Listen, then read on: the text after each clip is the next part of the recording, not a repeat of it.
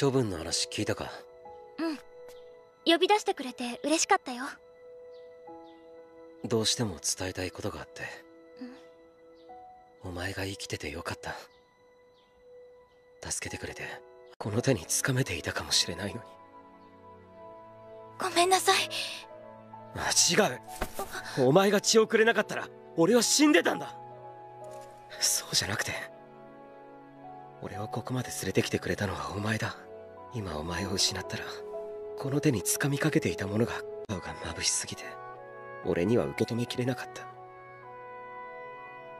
もう一度だけ聞かせてくれないか？俺のこと。好